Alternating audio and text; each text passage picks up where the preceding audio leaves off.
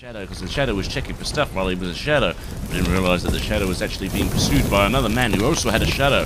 So at this point, the Shadow had a Shadow of the Shadow while having a Shadow of that Shadow. And it was all shadowy. Just need Cliff Richard now. Oh, hi!